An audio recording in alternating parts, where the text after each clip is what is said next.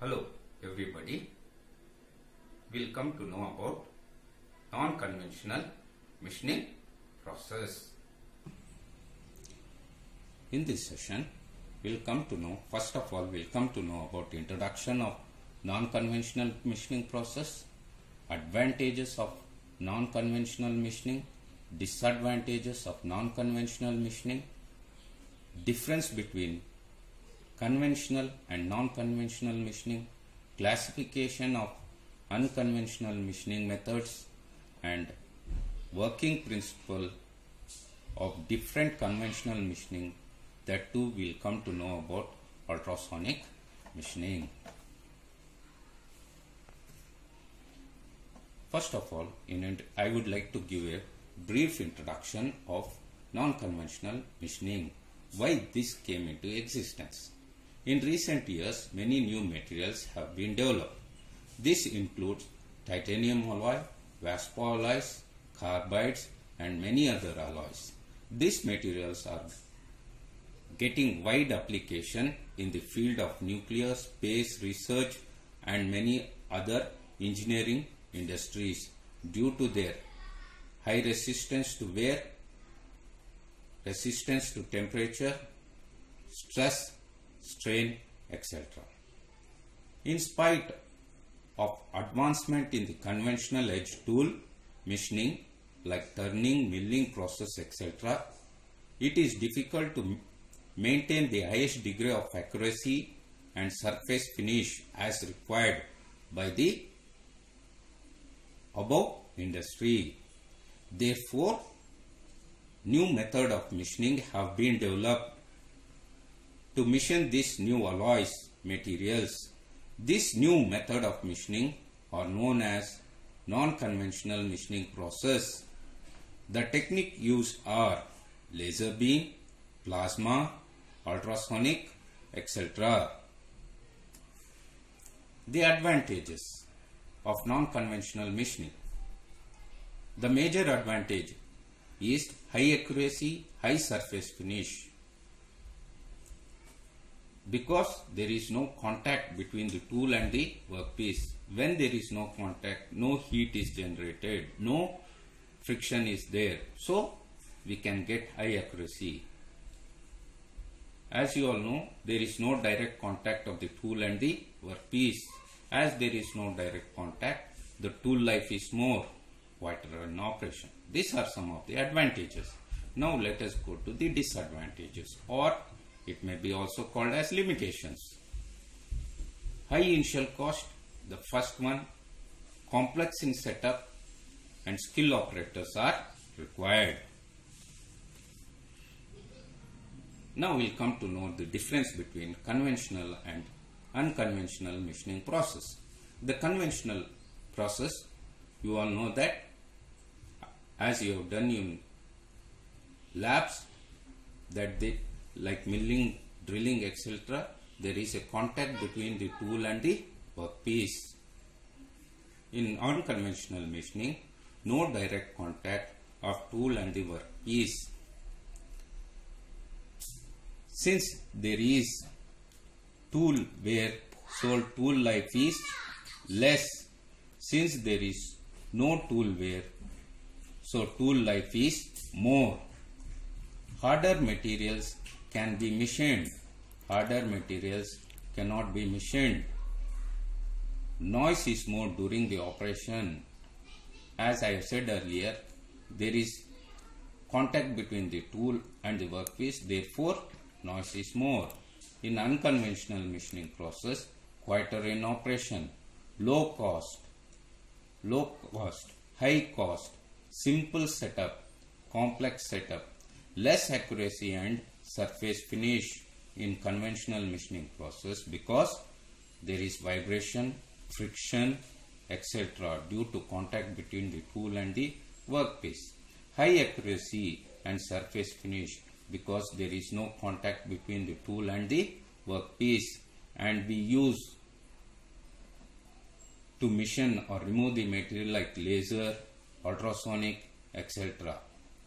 And complex parts, parts cannot be produced because the axis of movement is limited, whereas complex parts can be produced in non-conventional machining process. Next we'll come to classification of unconventional machining methods. This classification is done on the energy we use. First of all, it is classified as under mechanical.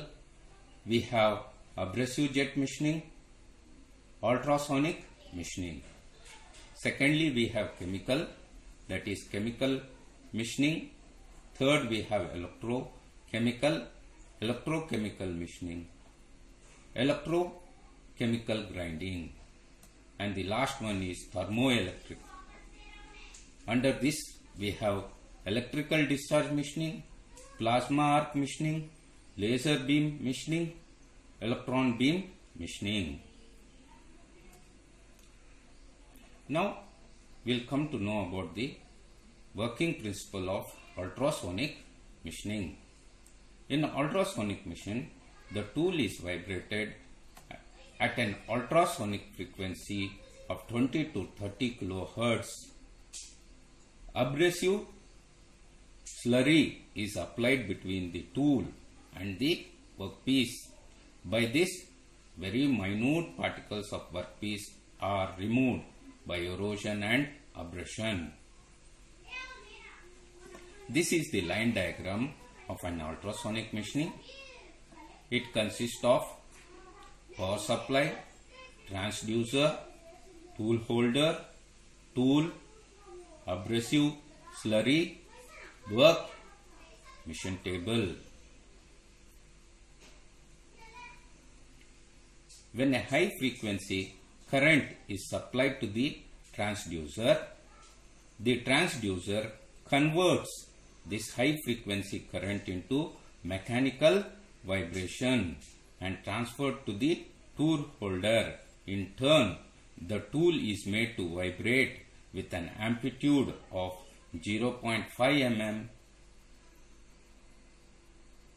sorry it is 0.005 mm and a frequency of 20 kilohertz. Abrasive slurry is applied between the work surface and the tool. Because the tool vibrates, the abrasive grains in the slurry are hammered into the work surface. Hence, by abrasion and erosion, the material is removed from the work as minute particles by the action of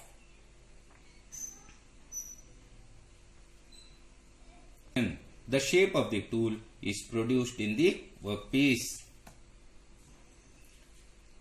Now the last will come to know the applications where ultrasonic machining is done. First for first they are used for drilling holes in harder and brittle materials like ceramic, glass, carbides, diamonds. For making wire drawing dies in tungsten carbide. For machining both conducting and non-conducting materials. For slicing and broaching of harder materials. Advantages Very hard and brittle materials like carbide and tungsten are easily machined. Setup of machining is simple. Possible to make holes of any shape, circular or non-circular. It can be used for machining both co conducting and non-conducting materials.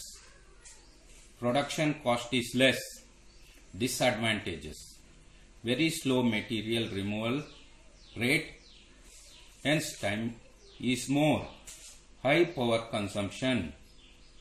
Not suitable for heavy stock removal.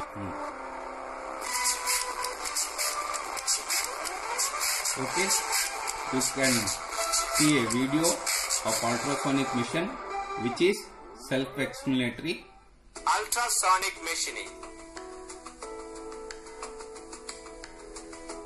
Workpiece, abrasive slurry.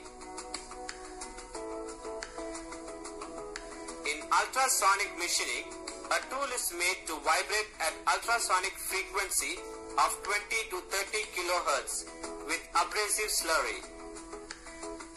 The vibration of the tool and abrasive slurry removes material in the form of small grains.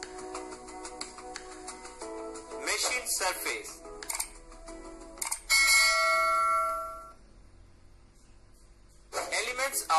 ultrasonic machining. Let us see the 3D model of the USM machine. It has velocity transformer. It is a specially designed taper section connected between transducer and tool. Tool. Power source. It consists electronic oscillator and amplifier to convert the available electrical energy of low frequency to high frequency power. Transducer. It converts the electrical energy into mechanical vibrations.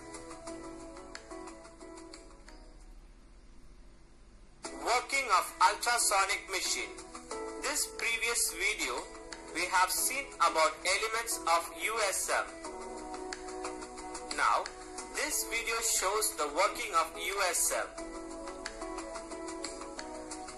In ultrasonic machining, a tool is made to vibrate at ultrasonic frequency of 20 to 30 kilohertz with abrasive slurry.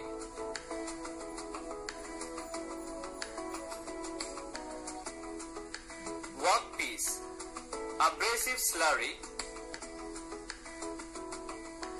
The vibration of the tool and abrasive slurry removes material in the form of small grains. Machine surface